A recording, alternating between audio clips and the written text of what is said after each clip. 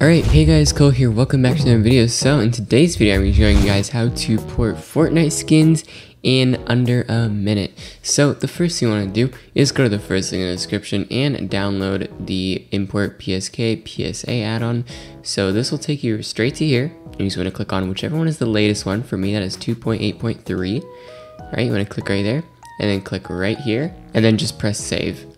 Alright, and then open up Blender. I have a theme on right now, so it's going to look just a little bit different from yours. And you just want to go to Edit, Preferences, and then Add-ons, and then Install. And then you want to find wherever you installed that to, so right here, and you just want to press Install Add-on. Alright, then you want to make sure it's enabled by typing PSK in the search bar, and you can see it is enabled just like this. Just make sure this is checked right here. Alright, then you can close out of this. Alright, so then you want to click the second link in the description, which is going to take you to Half's Discord right here. Half is the creator of the add-on that we're going to be using to import our Fortnite skins. I do not take any credit for this. So you want to head over to the download area right here, and then you just want to click right here on this link. Then press continue to download, and then just save it wherever you want. Alright, so I have my file right here. I'm just going to right click and extract all. And then you just want to choose where you want to extract it. Once you're done extracting, you can go ahead and delete the zip file like this. Once you've done that, you want to head back into Blender, go to Edit, Preferences, go back to Add-ons, remove your PSK text right here, then press Install, and then you want to find where you extracted those files. So for me, that's going to be my GFX folder and porting, and then Fortnite porting right here. Then you just want to install this Fortnite porting add-on.python file. Press Install Add-on, and now we're seeing to enable this. Alright, now it's enabled, we can close out of this. Alright, once you've imported your add-on, go ahead and press N on your keyboard and it'll load up this Fortnite porting area. If that isn't already selected, just click right here. And then you want to go to File Explorer and then go to where your porting folder is or wherever you exported that. And then here you want to right click on this and press copy as path. And then you want to paste it right into here. And then you just want to get rid of these quotation marks right here. And then just press enter. Alright, then for your packs, you want to go to your packs folder.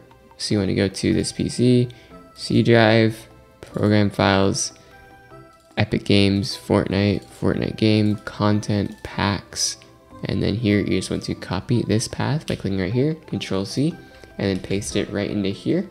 And then finally you want to press update keys plus mappings. Alright, now before you import your skin, I like to enable merge skeletons as well as reorient bones. And now we can figure out which skin we want to import. So for me, I'll just do Moon Knight. So I'm going to click right here. And then I'm just going to type in Moon Knight. And then I'm going to press export. This command prompt window is going to load up right here. Alright, and now it's going to ask for which style you want. I just want to do the original one, so I'm just going to type in one and then press enter. Alright, it's going to say finish exporting. Now you can close this. Alright, then right here in this import area, when I click on this, go to your Fortnite porting, and then you're going to go to exports, and then we have moonknight.json. I'm to press accept, and I'm just going to press import.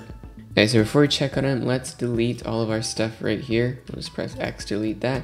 We can close out of this here, and let's zoom in and take a look at him. Alright, so almost did a perfect job. As you can see, it sped up the process by a lot, but you can see it's like this weird white thing. To get rid of this, you want to click on our mesh here, and you can go to our materials tab, and you see this material too, you just want to go into edit mode by pressing tab. You're to press select right here while you have this material selected and then press X on your keyboard and vertices. And then you can delete this material by going back into object mode and pressing the minus right here.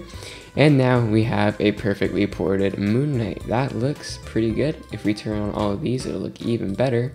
Let's hide the bones, check it out that looks perfect. So I hope this video helped you guys. If it did, go ahead and like and subscribe, and I'll see you guys later. Bye.